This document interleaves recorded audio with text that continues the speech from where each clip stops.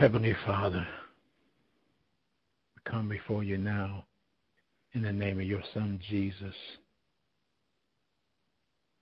Lord, we pour out to you because there's so many hurting people, so many people that's being stressed and pulled, and so many people have become discouraged and ready to quit and give up. Father, we lift the brokenhearted to you right now in the name of your Son, Jesus. We ask you to touch each and every person, God, who comes into our conference tonight. We pray a special blessing over their lives. And Lord, I ask you that you would just touch me now, that the word that I give would come through in the manner that you desire. Touch me that I would be able to, to deliver the message, God, with clarity, understanding, and with power. Father, I pray for the sick and afflicted. I lift my brother Sean Wesley, the the police officer who fell and hit his head and is presently presently uh, having surgery and is now recovering. He's still in the surgical ICU, God, but you see him. So, God, we pray for him now that he would have complete, complete recovery, that his healing would be manifested, that not only that, but he would have a testimony of how good you are. Bless his family, God, his wife, his family, who tried to be encouraged, who try to keep the faith. Bless them, God. Only they know and you know the things that they suffer and go through. God, remember the sick and afflicted that have been part of Gospel Truth family. God, we lift the prayer list before you right now. The prayer list that Minister Ida has assembled and the different ones that called in, God, we, we, we lift it before you. That you would move upon it, and not just move upon it, but let them know that you are near. That all they have to do is just put their faith in you and they trust in you, and you will answer. God, I'm thankful for all the people you have brought into my life, all those, whether it's friend or foe. I pray that the foes be turned around and become friends. God, I'm grateful to you. I'm grateful for this avenue, this prayer line, conference call line, Christian education line that we utilizing. I'm grateful to you for that.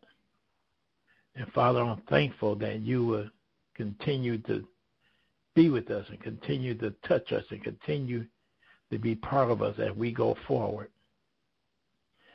Those that are in need of your touch, God, we pray that you would touch them.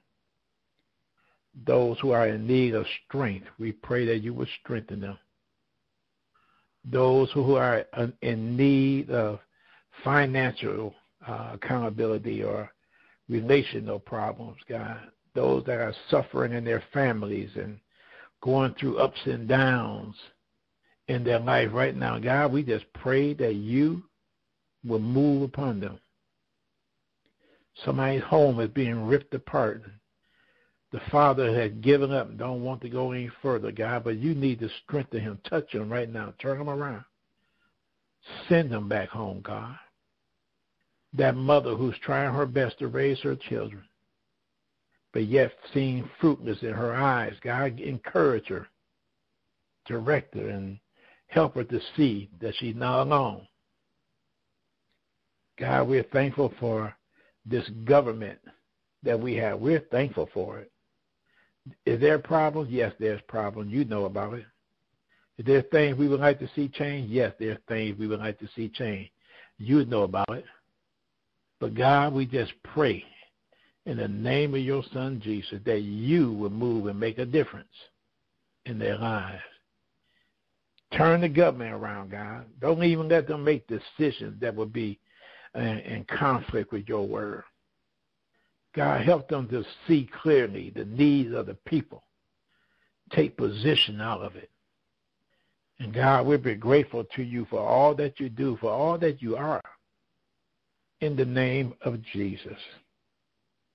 And I'm thankful for uh, the way this life is going, the way our world is going. I'm thankful because it shows signs that your return is very soon. We're thankful, God, that we're on the side of righteousness.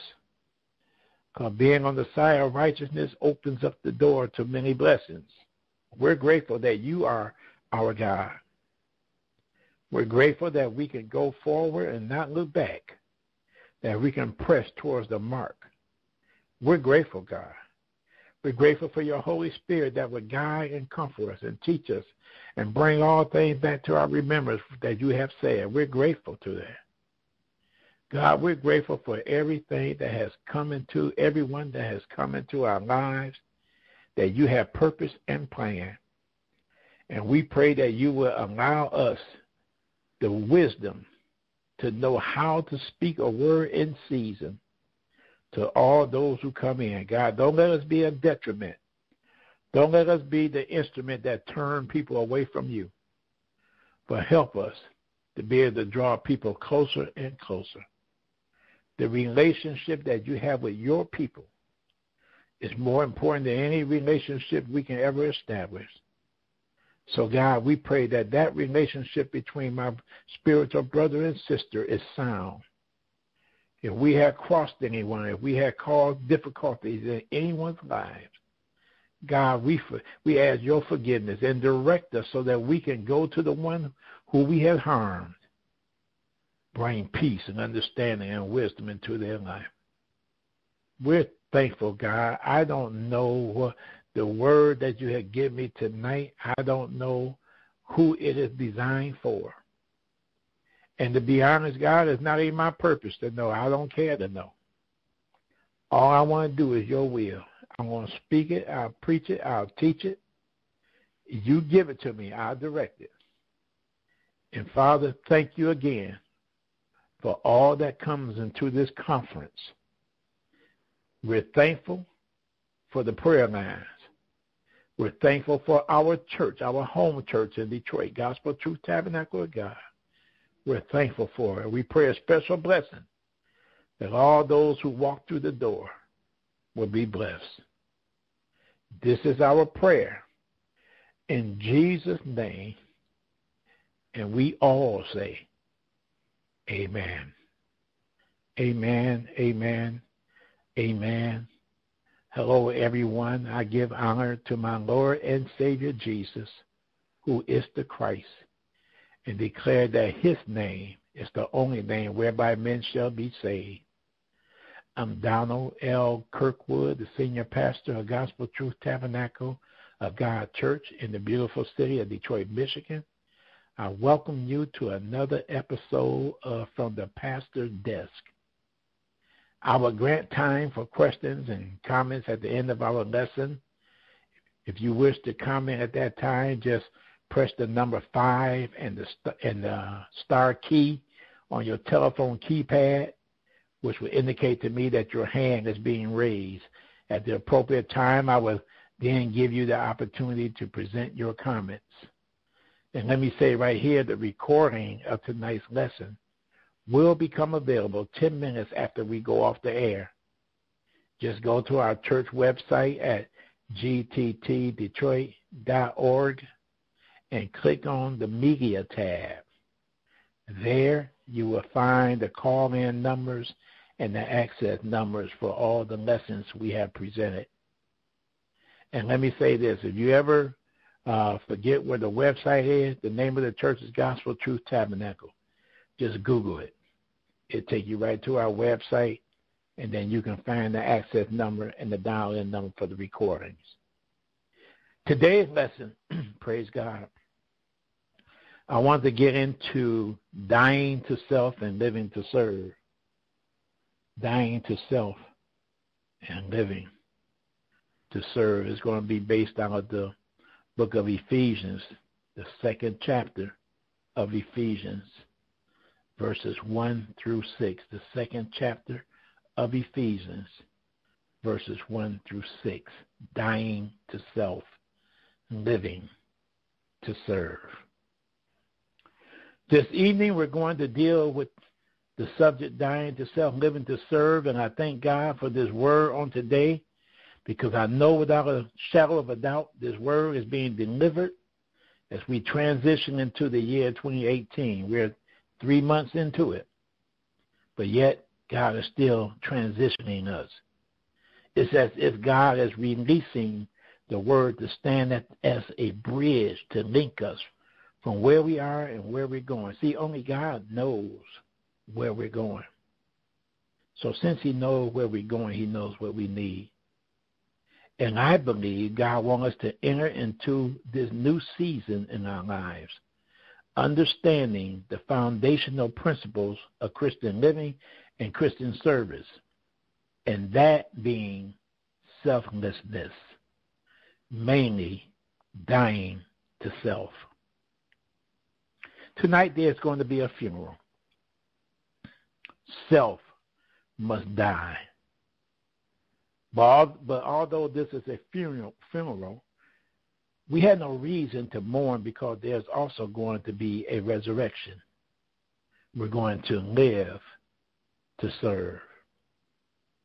It's John 3:16 that says, "For God so loved the world that he gave his only begotten son, that whosoever believeth on him shall not perish, but have everlasting life. John 3:16 seems to define God's relationship between him and us. And that relationship is based upon extreme selflessness. God gave his only son. His son gave his life. He then ascended and gave us the gift of the Holy Ghost. The Holy Spirit gives and quickens those gifts that God has placed in us. And what we find is there's a constant deposit into our lives from heaven, mainly because our fleshly walk on earth is in opposition with what God would like for us. Even those things we celebrate, even those things we celebrate, and I want you to think about holidays and birthdays and, and all the things we celebrate. Those things have become breeding grounds for latter day spiritual wickedness and spiritual weakness. One of the greatest and most popular holidays celebrated in our society is Christmas. And the Christmas season is about selflessness. It's about giving.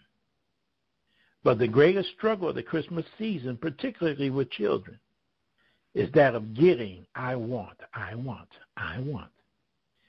And that spirit, the I want spirit, is the antithesis of, or the opposite of the spirit of that season. See, it's not about getting, it's about giving. Praise God. And I believe with all my heart that what we have done, and in some cases still doing, is raising a generation of takers. The Bible declares in Proverbs 22 6 to train up the child in the way he should go. And when he is old, he should not depart from it. That's Proverbs 22 and 6, where our training has been very, very poor because we've been training our children to be takers and not givers. So we have to really deal with our children, particularly at Christmas. And I know you probably said, well, Pastor, why are you talking about Christmas in March? Because it's really not just about Christmas. It's about the whole year. But at Christmas, we need to particularly deal with our children by telling them this is not about you. We pray that you understand, but this is not about you receiving, it's about giving. And that's something that God wants all of us to understand. As I said, not just at Christmas season, but for the entire year. He wants us to understand how to give.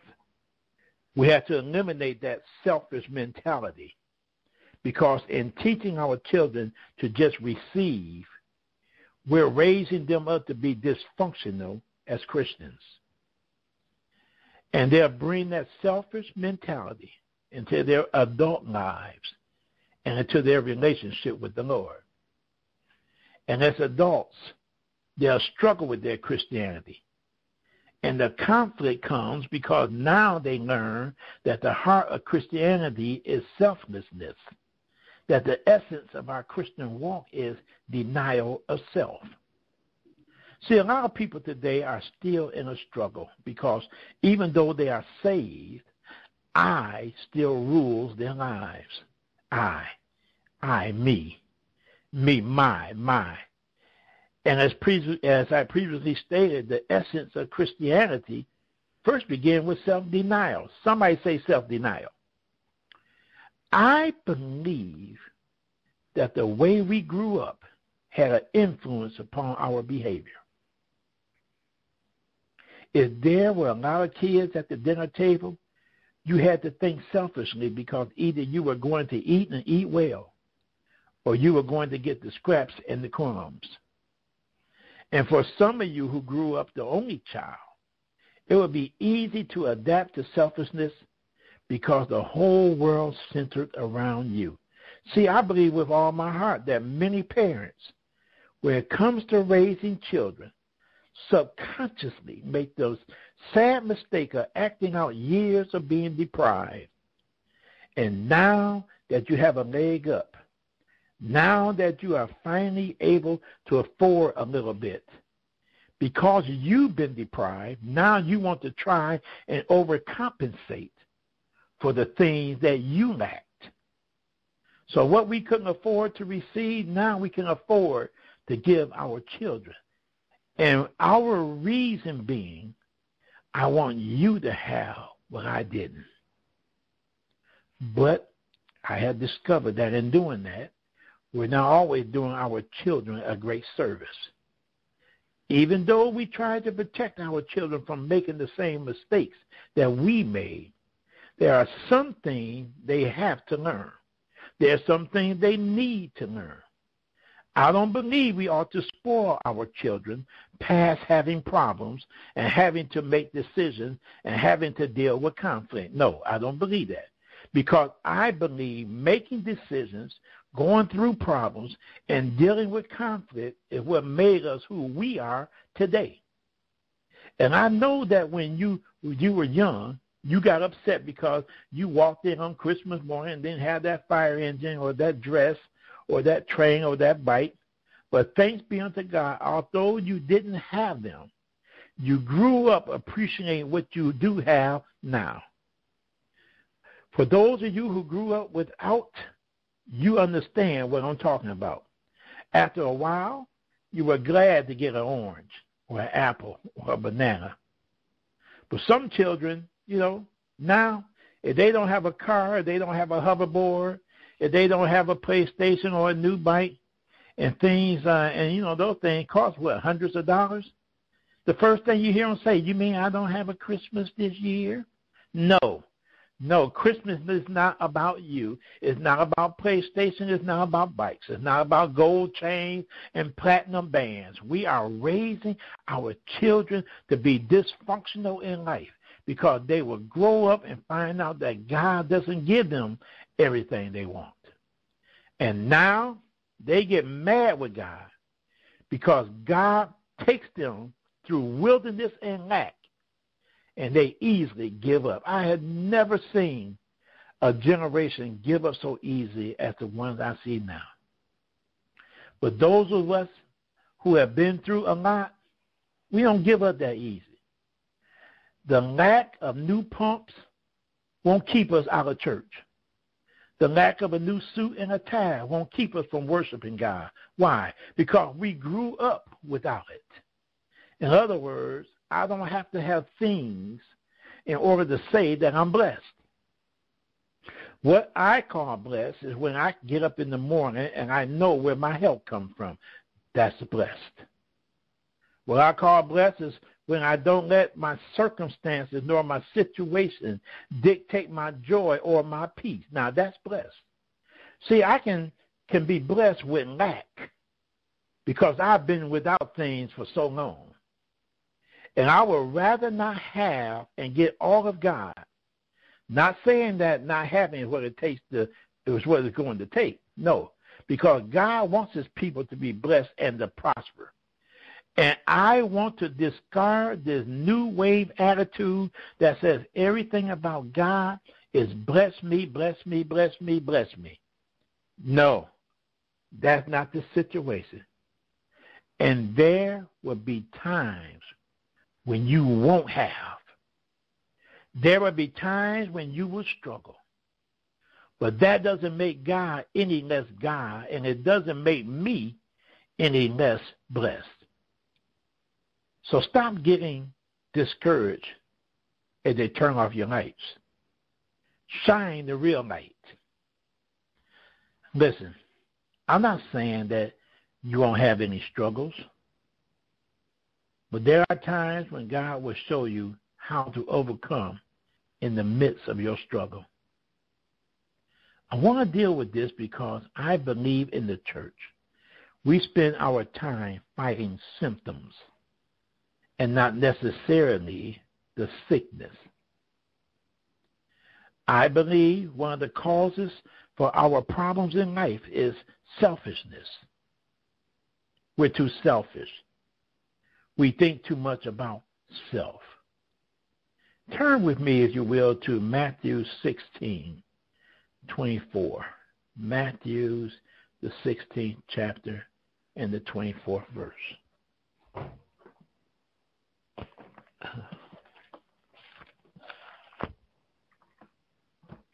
Matthew 16:24 says, Then said Jesus unto his disciples, If any man will come after me, let him deny himself and take up his cross and follow me. Oh, praise God. This is the first thing you must do as a Christian. The essence of Christianity first begins with self denial. We must die to self. The moment in a marriage when we begin to think selfishly, you will begin to become dissatisfied. Because self has a way of lifting its own standards and placing unusual and inhumane standards on other people. The first thing we do is expect others to do what we know we're incapable of doing. We expect others to bring us happiness and joy and bring us fulfillment when we can't even bring that to ourselves. Self must die. I come to let you know that your enemy is your inner me is self. And let me say that again. Your greatest enemy is your inner me, is self, is you. I, me, me, my. My feelings are hurt. It, it, it wasn't happening for me. I don't see this. I don't understand. I'm not being satisfied. I'm not being pleased. I'm not being loved. How come they're not telling me what they need to tell me? You don't let me have this. You don't show me affection. You don't encourage me. You don't talk to me. I'm the one who's being slighted. They're looking at me funny. They didn't invite me. They didn't call me. How come I, I, I, me, me? And what's happened is you walk away a wounded Christian because of I, me, and mine. It's time to let I die. I submit to you that if I died, then God would take care of I. The reason why marriages begin to go sour is because somebody starts talking about I. I'm not receiving love.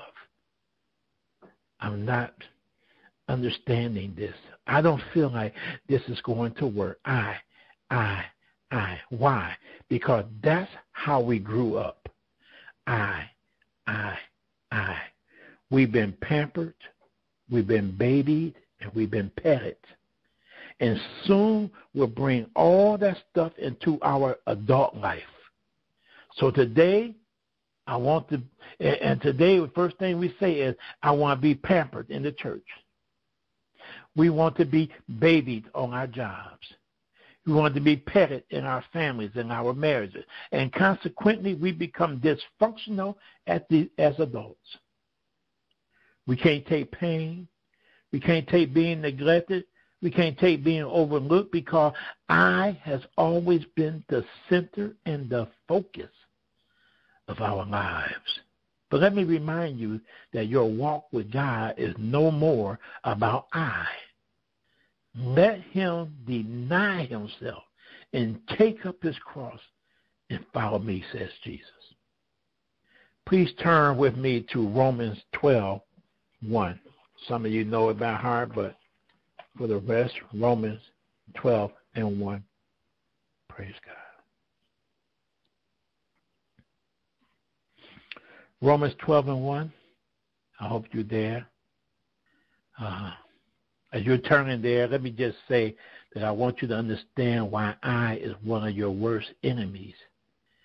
It is because I brings about selfishness. And selfishness breeds individualism. The spirit of individualism is also the spirit of a consumer. The spiritual consumer is the person who wants to just look, take, and receive. Say again, Pastor. Okay, I think I will. The spiritual consumer is the per- is the person who wants to just look, take, and receive. They don't want to give. They don't want to serve. They don't want to work. But just want to take. Give me. Give me. Notice what Romans 12 and 1 says. I beseech you, therefore, brethren, by the mercies of God, that ye present your bodies a living sacrifice, holy and acceptable unto God, which is your reasonable service. Verse 2 And be not conformed to this world. And I want you to underline that. If you don't want to write in your Bible, underline it in your mind. Underline that. And be not conformed to this world. Worldly thinking is selfishness. Worldly thinking is individualism. Worldly thinking is self centeredness. It's all about me, I, I, me. That's worldly thinking. But be ye transformed by the renewing of your mind, that ye may prove what is that good and acceptable and perfect will of God. Now, traditionally, we've always used this scripture to mean personal individual salvation. But the principle of this scripture cannot be abstracted to mean personal individual salvation. Paul is dealing with one thought to the church in Rome. He's taking the principle of conversion, of not being conformed, but being transformed. And he's bringing those who are receiving the transformation into the body of Christ. This is important because I have heard this scripture used so many times inappropriately. He's talking about the body of Christ. He says in Romans 12 and 3, For I say, through the grace given unto me, to every man that is among you, not to think of himself more highly than he ought to think, but to think soberly, according as God has dealt to every man the measure of faith. Then he says, For as we have many members in one body, here he's dealing with the main topic which is the body of Christ.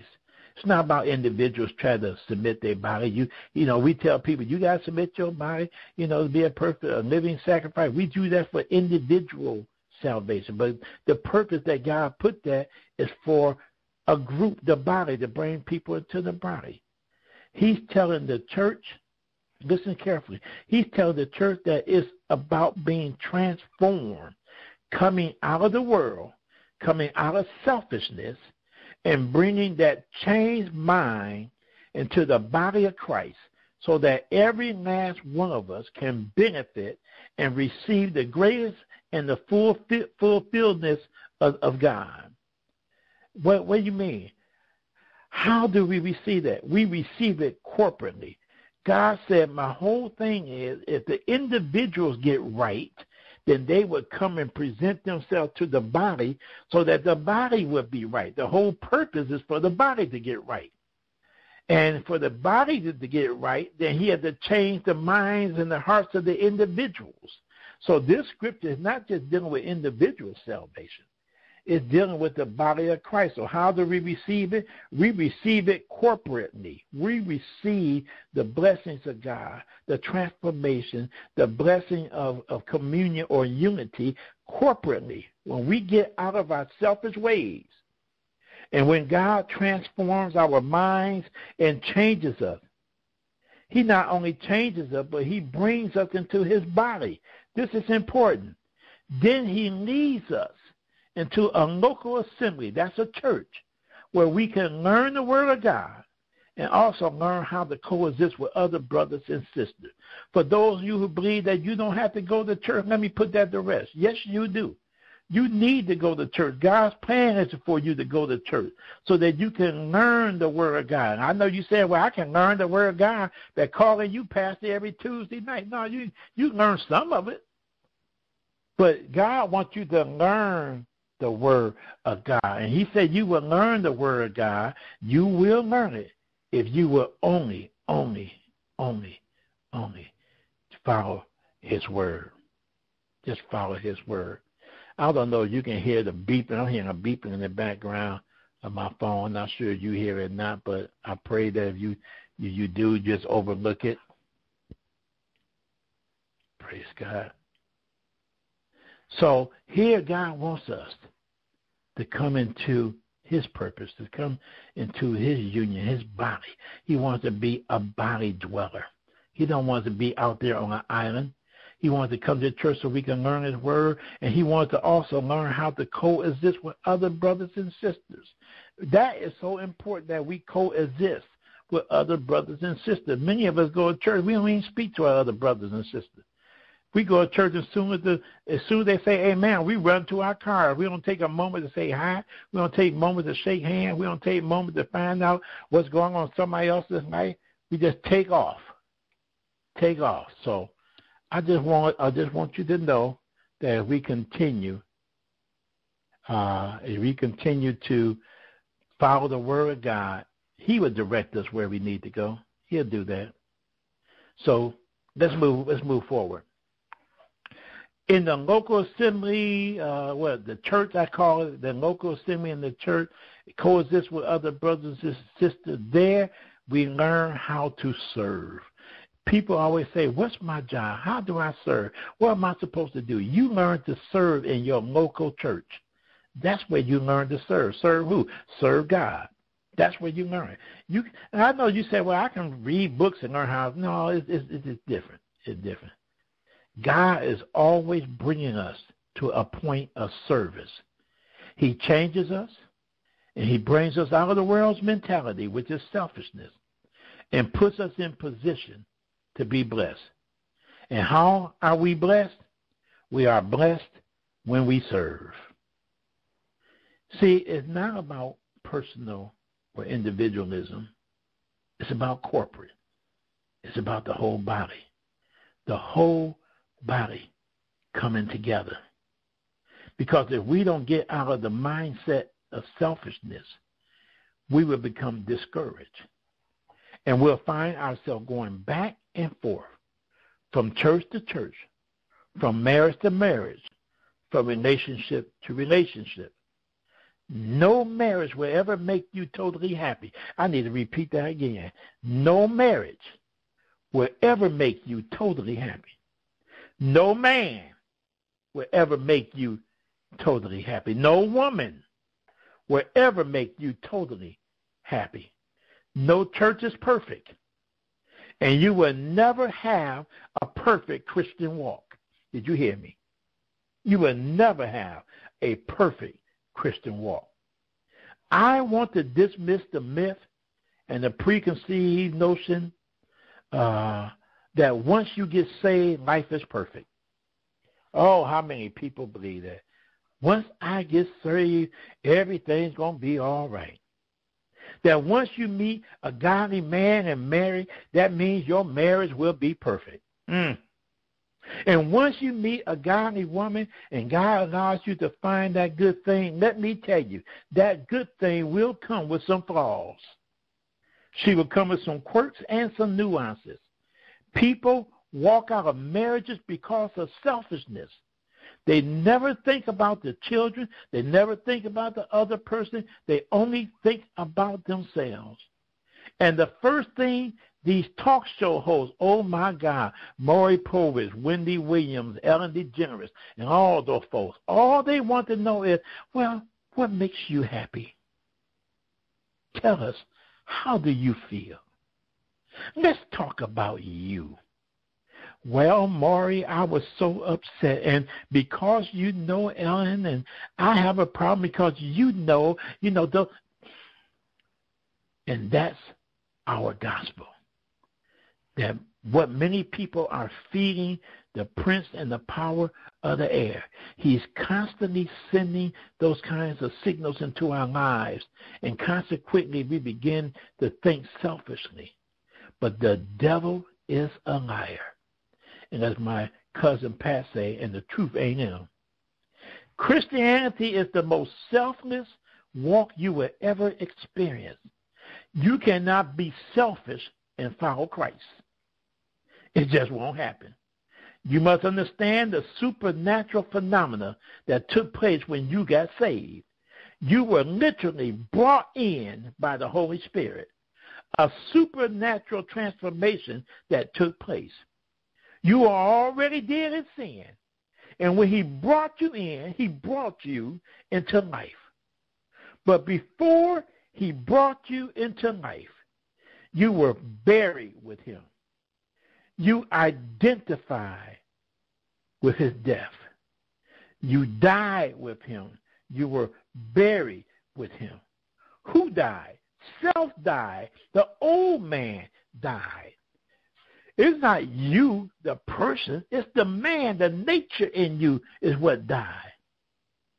But if you are living your Christian life carnally, then you are constantly resuscitating that old man. How is anything that's supposed to be dead still active? Somebody tell me that. How is anything that's supposed to be dead still active? Quit giving your flesh mouth to mouth. Quit waking it up.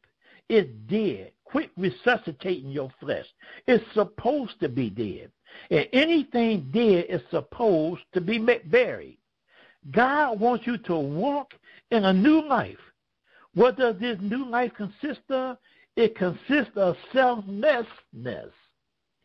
Selflessness. The moment you were saved, and the Holy Spirit filled you. When you got up, you were raised in a new life. 2 Corinthians 5.15. Turn there. I'll give you a moment. 2 Corinthians 5 and 15. Praise God. I'm so happy. I'm trying to uh, keep from bubbling over. You know, ever since I started doing these uh, internet conference call teachings. My Tuesday night is on fire. my Tuesday night is on fire. All right. Uh, I gave y'all that one for free. Second Corinthians five fifteen says, uh, and that he died for all, that they which live should not henceforth live without themselves, but to him which died for them and rose again. You know, I pray that this word tonight would change your life. He that died for all, that they which live should not henceforth live unto themselves, but unto him which died for them and rose again. Oh my God. I pray that once I'm once what I'm teaching will make you think twice about thinking about you. I'm gonna read I'm gonna keep interjecting this verse and that he died for all, that they which live, Second Corinthians five fifteen, and he died for all, that they which live should not henceforth live unto themselves. It ain't about you, but unto him was died for him, who died for us, Christ, and rose again. Some of us are so fixated on us. We can't be any good for anyone else. God hates self. He hates self. I mean, think about it. If self was any good, if self was any good, don't you think God would have used it? I mean, really, think about it.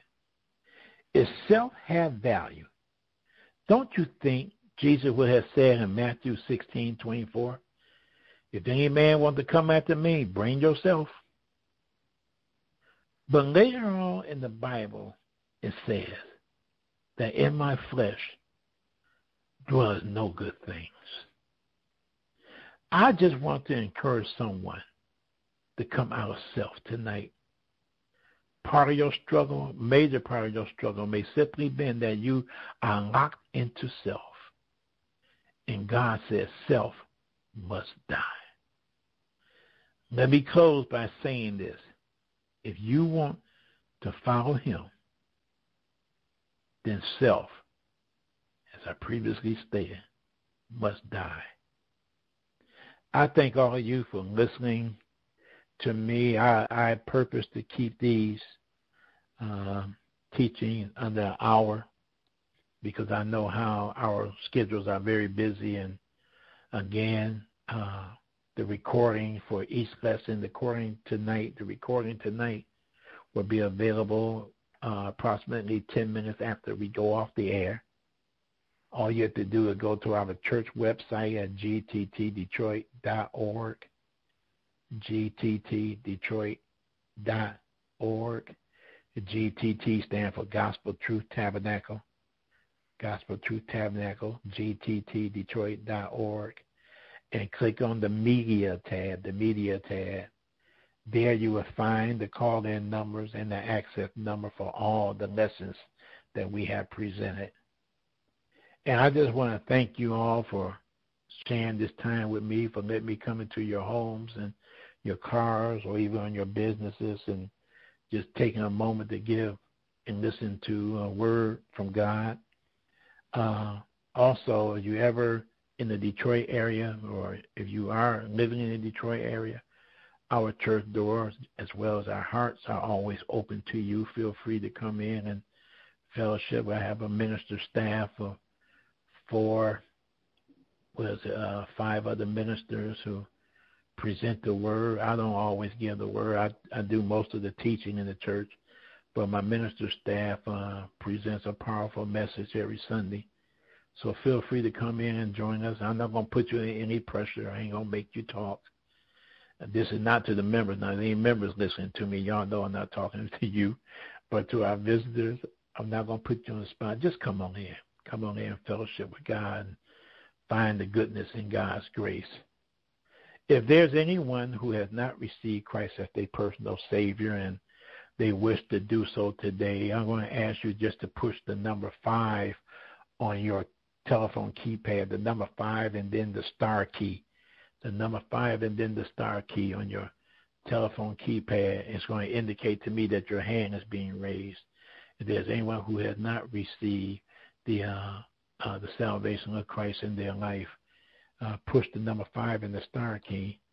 If there's anyone that has a prayer, a need for prayer in their life, whether it's pain or you're going through something financial, wherever the case, I'm going to ask you to do the same push the number five and then the star, the star key on your uh, telephone keypad, and that would indicate to me that there's a request being made, and then we would pray. And I'm just thankful for all those. If there's anyone that has a testimony, anyone that has words they want to share or something they want to bring to the group, again, push the number five and the uh, star key on your pad, and I'll open up the mic for you. I don't want to open up the mic for everyone. I'll open up the mic for you, and that way you can share with the group your your request or your testimony, and we'll go from there. And if not, I'm just going to have a general prayer, and then we're going to close. Heavenly Father, we thank you for this night. We thank you for the word that has gone forward. God, I thank you for all those who have come into the uh, the class tonight, our lesson tonight. I pray a special blessing over their life. Help each and every one, God, that they would be able to receive that which they seek. Father, in the name of your Son, Jesus, touch the hearts of those that are heavy right now, those that are going through things unmentionable, those who have secret secrets among you that they haven't even shared with their family or their churches or their pastors. God, but you know the secrets of every man's heart. We pray that you will minister to the need of each and every one. Again, as I stated earlier, bless our prayer list and all those who are Gospel Truth family who are sick and afflicted. God, we pray a special blessing that you will walk into their home and turn their lives around. And not just turn around, God, but we encourage them to come back to church and get involved in the church, God. Get involved in the spirit of, of unity that is being provided for them. Where there's unity, there's strength. And if I can get people to understand that you can't be strong on your own. You need strength. A three cord, a three uh, cord, a three string cord is not easily broken. And we have to keep that in mind. We need to we need help one to another. We need to be peaceful one to another. So God, we pray now that you administer to the hearts and the mind of those in need. And God, again, we thank you for every blessing you have given us, everything you have directed for us, every avenue that you have opened up to, to us. Thank you for my personal blessing you have given me and, and the teaching that you have given me and the leadership from my mother and father, God. I thank you for that. Thank you for those things that I heard and learned. And now as we close this prayer, we close it and we pray a special blessing over each one. Now to him that is able to keep you from falling and to present your present you faultless before the presence of his glory with exceeding joy.